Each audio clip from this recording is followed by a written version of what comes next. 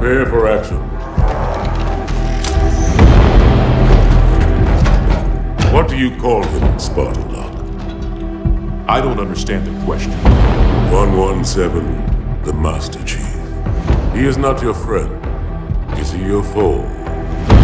He's gone AWOL and the UNSC want him back. I'm going to bring him home. I admire your sense of duty,